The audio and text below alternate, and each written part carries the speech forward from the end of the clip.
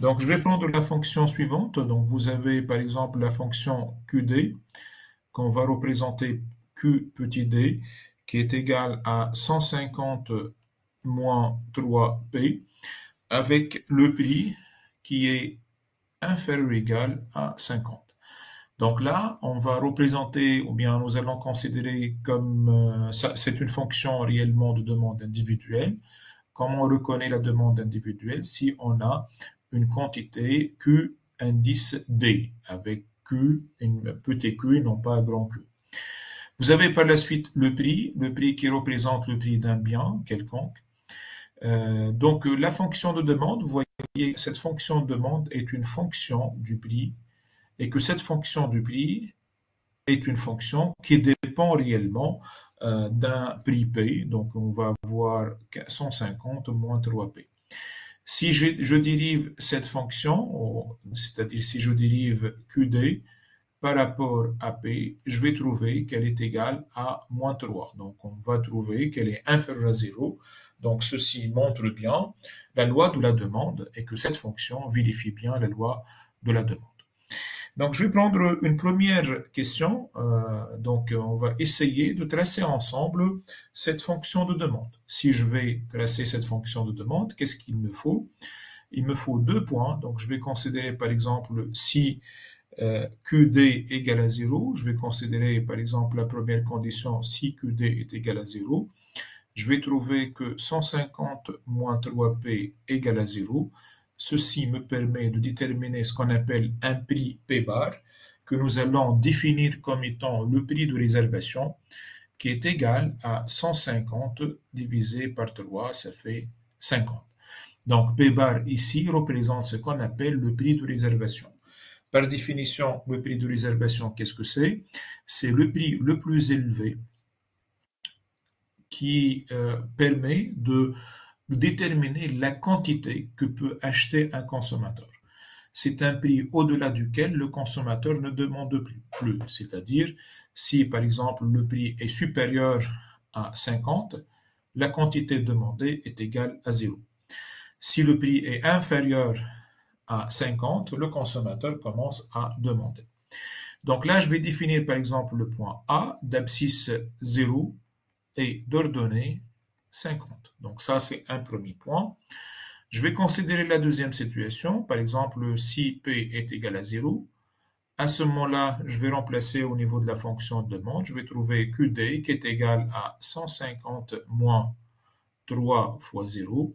Ça va me donner 150. Et donc, je vais définir un point B d'abscisse 150 et d'ordonnée 0. Graphiquement, je peux à ce moment-là représenter notre fonction de demande en mettant deux points. Donc là, je vais mettre les quantités QD et là, je vais mettre le prix. Donc le premier point est déterminé, le point A est déterminé pour une quantité égale à 0 et un prix égal à 50. Supposons que à ce niveau-là, je vais mettre le prix égal à 50. Donc j'aurai le point A qui est à ce niveau-là. Pour le point B, est représenté pour une quantité qui est égale à 150 et un prix qui est égal à 0. Donc, supposons que là, j'ai 50, 100 et puis 150. Donc, ce point-là représente le point par deux points, passe une, une seule droite qui est la suivante. Donc, euh, voilà, donc ça, c'est la fonction de demande QD qui est égale à 150 moins 3B. Il faut faire attention, il ne faut pas dépasser les quantités, il ne faut pas dépasser plutôt l'axe des prix et l'axe des quantités parce qu'au-delà de ces deux axes, la fonction n'est plus demandée. Est-ce que c'est clair par rapport à cette fonction de demande?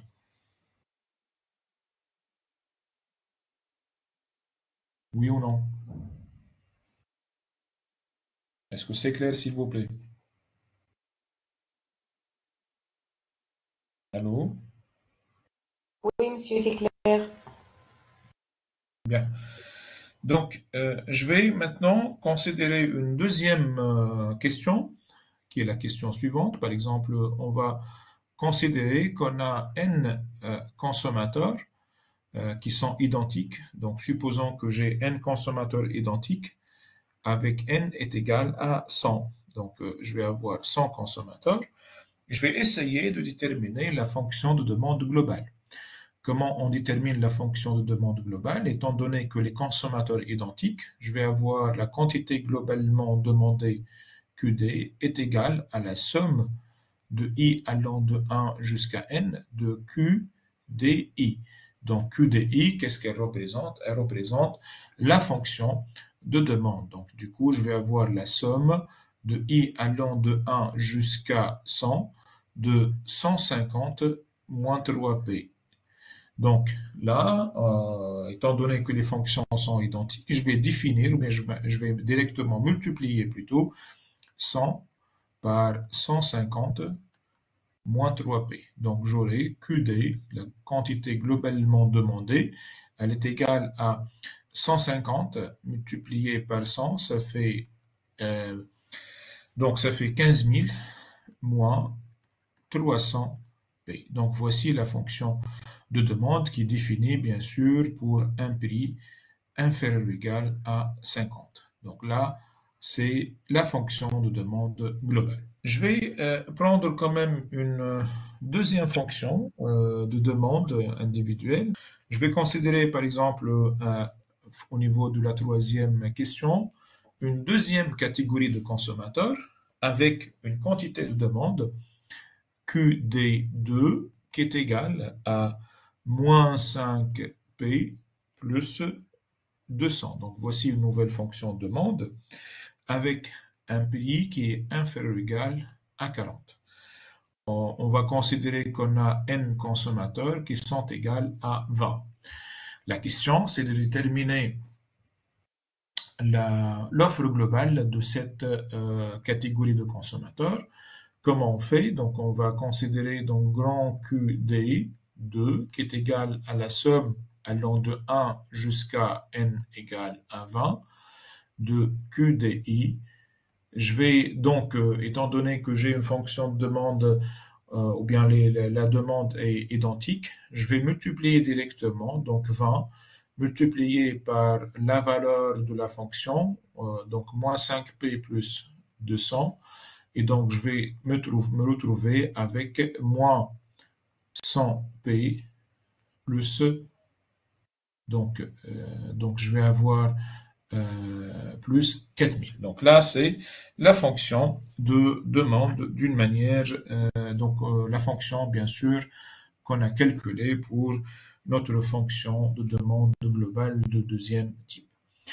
On va passer maintenant à une quatrième question. Au niveau de la quatrième question, nous allons voir si on a une fonction de demande globale du marché nous allons supposer que notre marché est composé par les deux types de consommateurs. Le premier type de, consommateurs vont consommer la fonction initialement calculée, c'est-à-dire QD qui est égal à 1500 moins 300p. Donc, je vais avoir là, par exemple, QD1 qui est égal à 1500, euh, plutôt 15000 moins 300p. Donc ça, c'est la première fonction, ou bien la première catégorie de consommateurs. La deuxième catégorie de consommateurs, c'est QD2, qui est égal à moins 100P plus 4000. Donc là, vous avez deux fonctions de demande. Donc pour ces deux fonctions de demande, comment nous allons calculer euh, l'offre globale? Donc euh, il faut savoir que notre offre globale du marché, qui est égale à grand Q, est égale Q1 QD1 plus QD2. Comment je vais calculer ces deux fonctions? C'est très simple. Initialement, nous devons calculer le prix de réservation de chaque fonction. Donc, qu'est-ce que ça veut dire le prix de réservation? On a déjà défini le prix de réservation. La réservation, c'est le prix le plus élevé euh, au-delà duquel la quantité demandée devient égale à 0. Donc nous allons calculer le prix de réservation pour la quantité D1 et nous allons calculer aussi le prix de réservation pour la quantité Q2. Donc pour Q1, comment nous allons faire? Nous allons supposer qu'on a un prix de réservation P1 bar et défini tel que QD1 égale à 0. Dans ce cas, si QD1 est égal à 0, je vais avoir 15 000 moins 300, P égale à 0. Donc, je peux définir P1 bar qui est égal à 15 000 sur 300. Donc, je simplifie par les zéros, je vais, trouver que P bar 1 est égal à 50. Donc, le prix de réservation, qu'est-ce que ça signifie? Donc, ça signifie que si le prix du marché est strictement euh, plutôt supérieur ou égal à 50, qui est le prix euh, de réservation, je vais avoir une quantité globalement demandée QD1 égale à 0. Pourquoi? Parce que, économiquement parlant, je des quantités demandées qui sont inférieures à 0. Et si je remplace, par exemple, euh, un prix qui est égal à 60 au niveau de notre fonction de demande, je vais trouver 15 000 moins 300 fois 60, ça fait 15 000 moins 18 000. Donc, je vais trouver moins 3 000, qui est impossible de trouver une quantité qui est inférieure à 0. Donc, l'entreprise de réservation annule la demande. Donc, au-delà de ce prix-là, la quantité demandée devient égale à 0. Maintenant, si le prix est inférieur, donc si le prix de marché est strictement inférieur à 50, la fonction de demande QD1 devient égale à 15 000, donc elle garde la même forme, 15 000 moins P. Donc là, c'est euh, ce qu'on veut essayer de faire par la suite. Euh, on va essayer de faire la même chose pour la fonction de demande QD2. Donc du coup, on va passer pour QD2. Pour la fonction QD2, on, allons se rappeler de cette fonction c'est la fonction qui est définie telle que j'ai moins 100p plus 4000. Donc, je vais avoir cette fonction. Vous voyez, c'est toujours de définir le prix de réservation pour cette fonction. Nous allons le définir p bar 2 qui est défini tel que qd2 égale à 0. Donc à ce moment-là, je vais trouver moins 100p plus 4000 égale à 0. Ceci me permet de déterminer que P bar 2 égale à 4000 sur 100. Donc ça fait 40. Donc du coup, je définis ce qu'on appelle le prix de réservation 2. Et donc du coup, je vais avoir si P bar 2, si plutôt P, bar 2, euh, le prix euh, affiché par euh, le, prix de réservation est inférieur au prix du marché. C'est-à-dire si je vais avoir par exemple un prix euh, du marché qui est strictement supérieur, supérieur ou égal euh, au prix de réservation, donc du coup je vais trouver la quantité QD2 égale à 0. Par contre, si le prix du marché est strictement inférieur à P bar 2, à ce moment-là, QD2 égale à la fonction, c'est-à-dire moins 100p plus 4000. Donc, on a euh, déterminé les deux prix de réservation et les intervalles de consommation. On va essayer de, euh, de, synthétiser, tout ça sur euh, une droite dans laquelle nous allons mettre les différents euh, prix. Euh, donc là, vous avez le prix 0.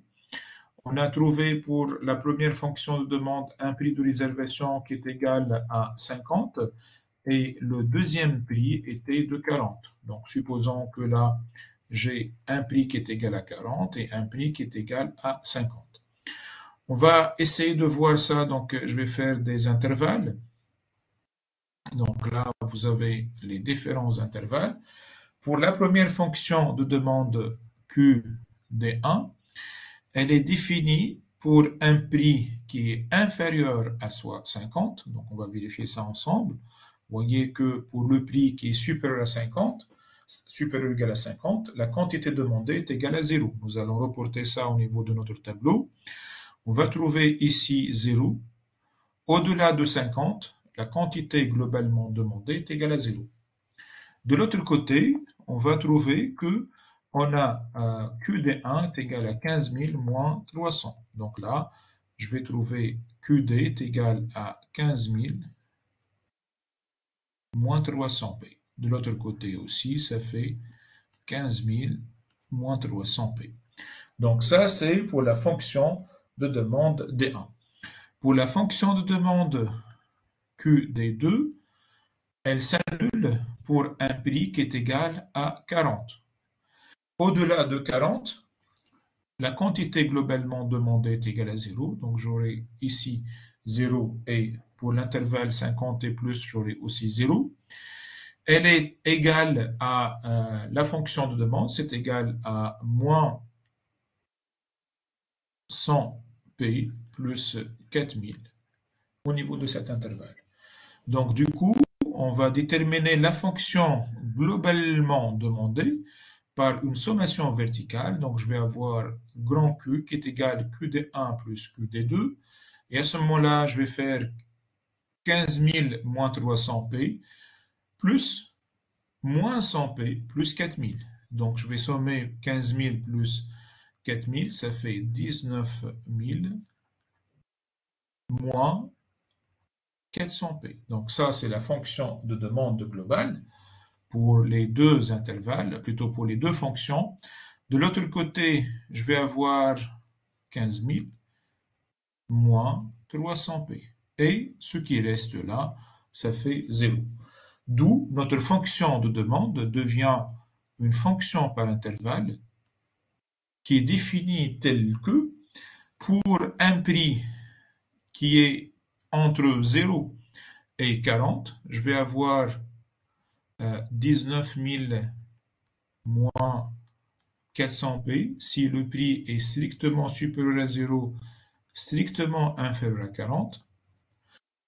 Pour un prix qui est entre 40 et 50, je vais avoir 15 000 moins 300p si le prix est strictement inférieur à 50, supérieur ou égal à 40, égal à 0, sinon.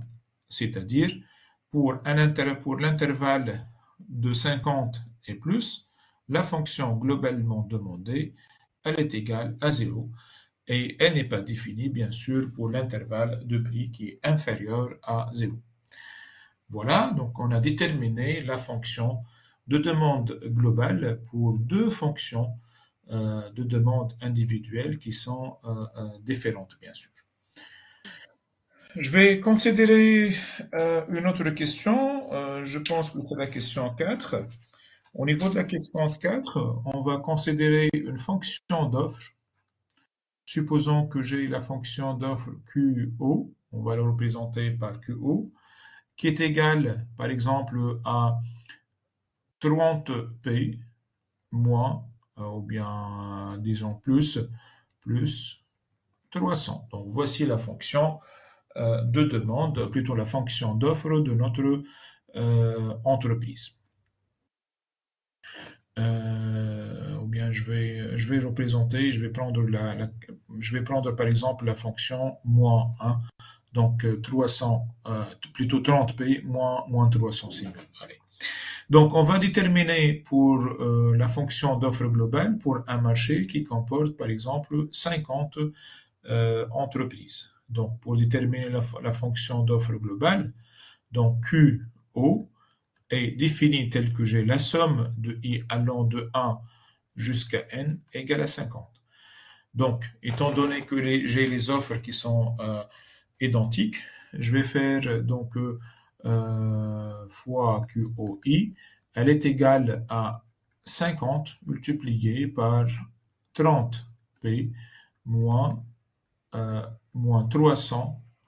Donc, je vais trouver que c'est égal à 1500P moins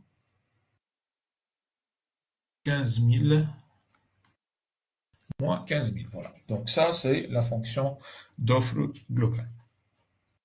Donc pour l'équilibre du marché, si je veux calculer l'équilibre du marché, donc l'équilibre du marché, il est égal à quoi? Il est égal à la quantité globalement offerte qui est égale à la quantité globalement demandée. Une fois que j'ai cet équilibre-là, je peux déterminer le prix d'équilibre et la quantité d'équilibre. Donc, euh, donc ça, c'est pour euh, l'exemple. Euh, au niveau de notre fonction, il faut faire un calcul, il faut faire des calculs par intervalle. Donc, il faut commencer par les différents intervalles pour déterminer, bien sûr, la fonction ou bien l'équilibre du marché. Donc, vous avez cette fonction-là qui est par intervalle et vous avez une seule fonction qui est là. Donc, comment on fait? On va commencer par égaliser cette fonction aux différents intervalles. Donc, je vous rappelle que la fonction globalement offerte, on va la reproduire, devant nous. Ça fait 19 000, 19 000 en 100. L'autre fonction, elle est de 15 000 moins 300. et puis j'ai 0. Bien sûr, vous avez les intervalles. Euh, vous avez un prix qui est compris entre 0 et 40 et un prix qui est compris entre 40 et 50. Donc, pour faire euh, l'équilibre, on va commencer intervalle par intervalle. Je vais commencer par le premier intervalle. Je vais mettre par exemple 19 000 moins 400p qui est égal à 1500p moins 15 000. Donc, à ce moment-là, on va essayer de faire les, euh, les, sommations. Donc, on a 19 000 et 15 000. Je vais regrouper les termes ensemble. Je vais trouver 15 000 plus 19 euh, 000, ça fait combien? Hmm? Donc, je vais trouver euh, combien? Ça donne combien 15 000 plus plus 19 000. 34. 30.